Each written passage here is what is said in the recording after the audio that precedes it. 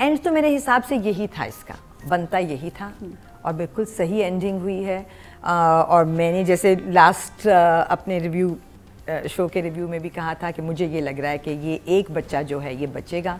And they going to change history by you know रस्म को ख़त्म करके। सो so, वही किया उन्होंने जो कि नेचुरली बन रहा था ना। I think it they couldn't have been a better ending this was perfect ending perfect अब वो पर्सनल लाइक्स डिसलाइक्स फ़र्क है